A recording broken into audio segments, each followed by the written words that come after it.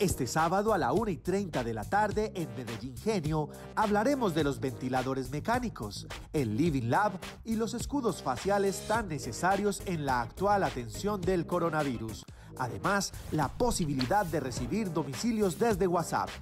Creaciones como estas, hechas con nuevas tecnologías y talento local, que dan cuenta de los avances de la cuarta revolución industrial con marca Medellín, tienen su espacio en Medellín Genio